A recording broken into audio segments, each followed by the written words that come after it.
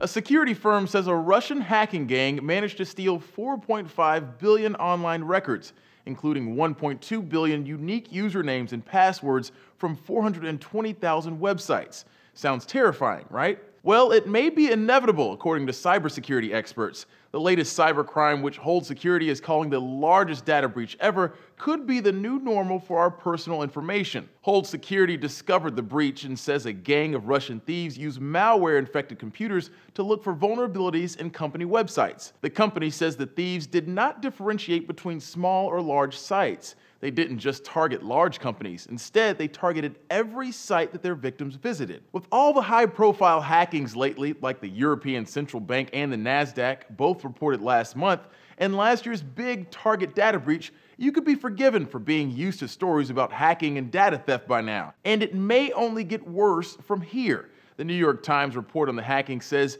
there is worry among some of the security community that keeping personal information out of the hands of thieves is increasingly a losing battle.